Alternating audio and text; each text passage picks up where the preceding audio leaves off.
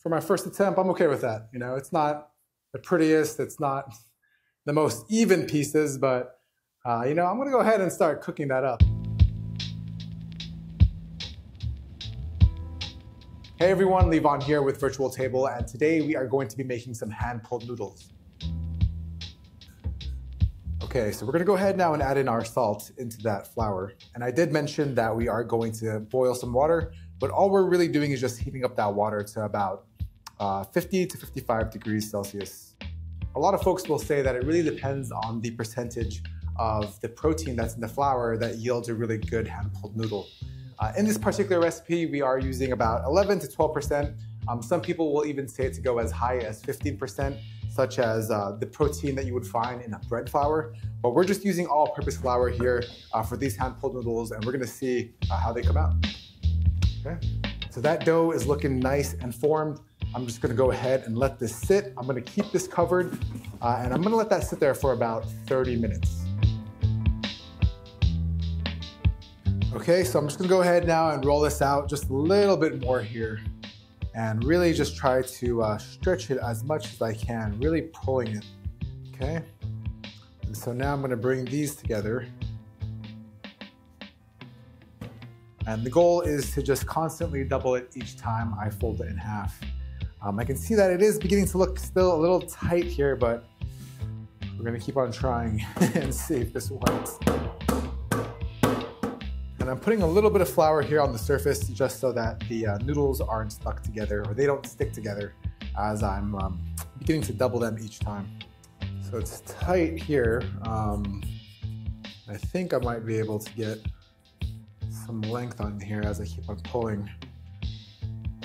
But it's not really, you know, it's not easy and you can see I kind of already broke it here. But it's not really uh, stretching as long as I want it to be, and I think it might still be a little tight.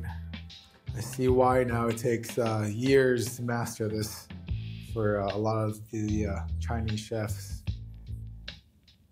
Oh, and I broke one. All right, well, we'll just keep on going.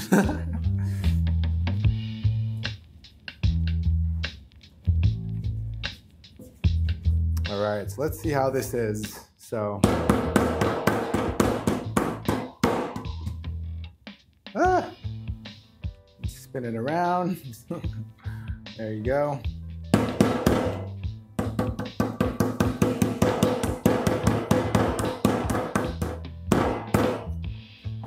And it's getting shorter each time, so I feel like this is still too tight and just ripped. All right, this is not gonna work. Next.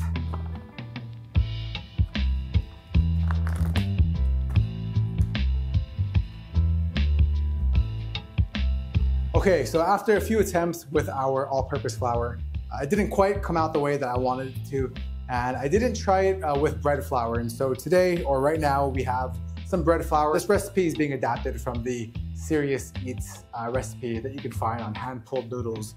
I was a little bit opposed to starting or trying out this recipe because nutritional yeast can sometimes take on a cheesy type of flavor.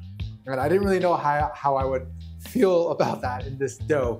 But you know, we're gonna give it a try and see how it is. Um, I do love the way that the nutritional yeast will give it some color. So it kind of looks like the traditional egg noodles that you're used to. The glutathione and the nutritional yeast kind of help um, aid that dough in making it nice and uh, stretchy. So uh, let's go ahead and uh, give it a try. In that bowl of bread flour, I'm gonna go ahead and add in that nutritional yeast, add in that salt, and then I'm going to add in that water. Okay, I'm gonna add in now that oil. And that oil is supposed to also help out with that texture here. Okay, so that's nice and soft. And I guess the whole idea too with the bread flour is that because it does have higher, higher gluten content, it will probably make the, uh, the noodles nice and chewy Wow, I can already see that this dough is nice and soft and it is definitely a little bit more sticky, but we're just gonna keep on working with it here. And I love the way that it looks. It's nice and yellow, almost looks like we added an egg in there. Okay, so as I'm kneading here, what's happening is that the matrix of glutens is really beginning to uh, get created and really kind of form at this point. So really just trying to make sure that, you know, we kind of get that going so that by the time we're ready to start pulling um, that network of gluten is already formed. I can begin to feel that dough getting a little bit tighter, which is what we want here.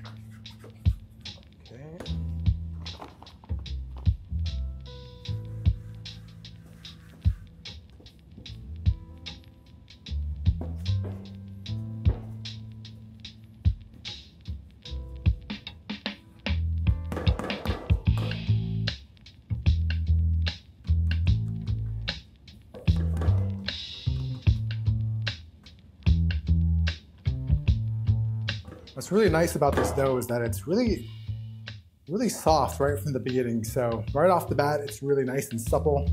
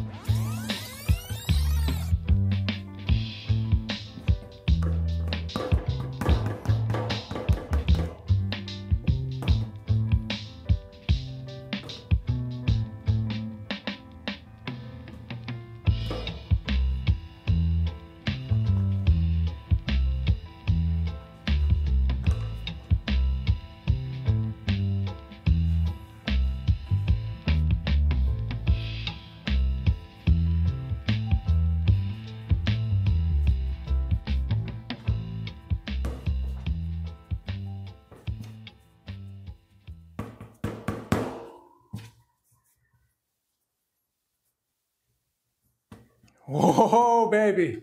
Let's go.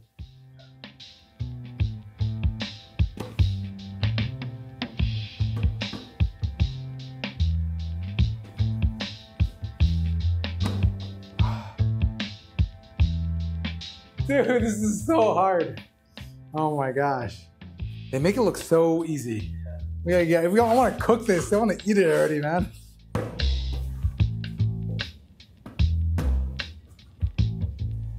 It's so frustrating, dude. Wow.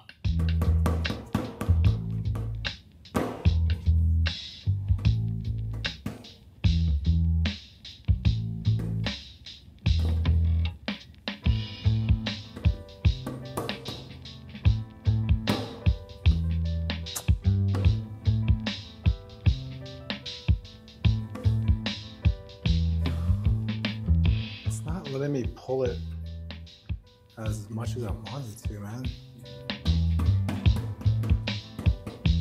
Oh my god, that was so promising.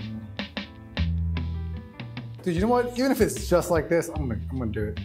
Okay, so not the prettiest, but we do have some noodles here, and you know, I'm for my first attempt, I'm okay with that. You know, it's not the prettiest, it's not the most even pieces, but uh, you know, I'm gonna go ahead and start cooking that up. So I got a few noodles here that I'm just gonna use or put over to the side and then I'm gonna uh, go ahead and boil them. I'm gonna do a few more of these so that I have a, you know, a decent amount. All right, we got some nudes here. This might be as good as it gets. So I'm gonna go ahead and cut it right there and add that to my pile. So to flavor up those noodles that we're gonna be testing, I am going to make a really quick and simple sauce using garlic chives, some shallot, and this Filipino condiment called taba ng talangka. So all that is is crab fat. Uh, all those together, you know, really quickly sauteed is going to be really delicious when I toss those noodles um, into that sauce.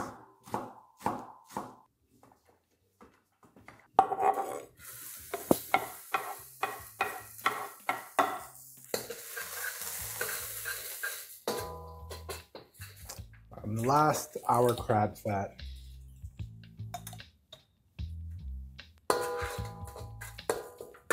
And I personally like a little bit of heat, so I'm gonna add in just a little bit of chili flakes in there. And that is it. So once we are done with cooking our noodles, some of that water is gonna help kind of deglaze this wok a little bit and really kind of make it a little bit more saucy. So even if there's a little bit stuck on that wok, that's totally fine.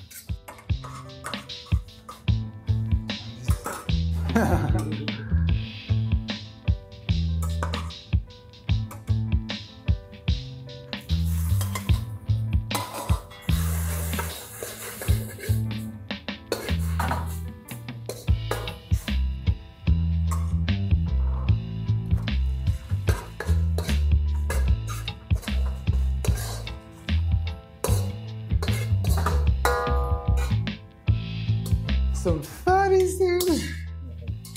Let's top it off, just a little bit of some chili crunch for extra texture and flavor. All right, let's go ahead and taste this.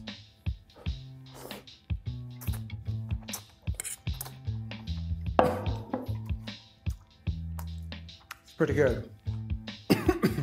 Noodles are a lot thicker than I wanted them to be, but not bad for our first try. The noodles actually don't taste as yeasty as I thought they would from that nutritional yeast.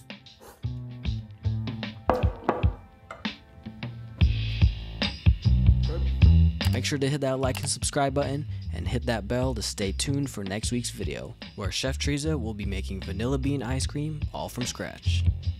See you all in the next one.